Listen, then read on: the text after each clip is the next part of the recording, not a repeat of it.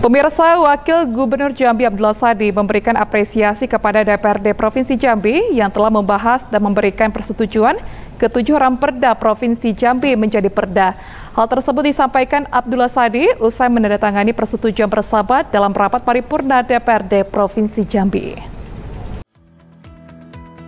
Wakil Gubernur Jambi Abdullah Sadi dan pimpinan DPRD Provinsi Jambi menandatangani kesepakatan pengesahan tujuan perda Provinsi Jambi menjadi perda dalam rapat paripurna di gedung DPRD Provinsi Jambi Selasa 5 Maret 2024. Dalam sambutannya, Abdullah Sani menyampaikan, ketujuran perda ini telah melalui serangkaian proses pembahasan oleh panitia khusus DPRD bersama pemerintah daerah pada akhir tahun 2023 sampai dengan dilakukan fasilitasi oleh pemerintah pusat.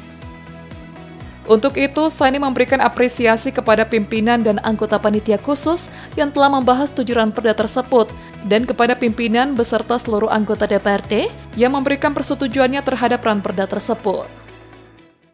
Semua ran perda ini ketika sudah ditetapkan dan digunakan tentunya akan menjadi payung hukum bagi semua pihak terutama bagi pemerintah daerah di dalam menjalankan pemerintahan sekaligus menjalankan tugas dan kewajiban untuk melayani masyarakat.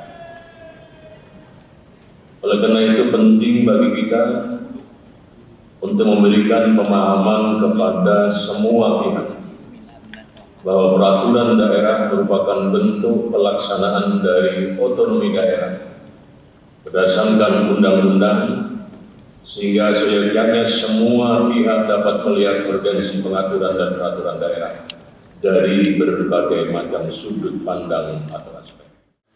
Lebih lanjut, Wagub Sani berharap peraturan daerah yang disepakati ini ketika diimplementasikan dapat memberikan manfaat yang dirasakan semua pihak, terutama bagi masyarakat Provinsi Jambi.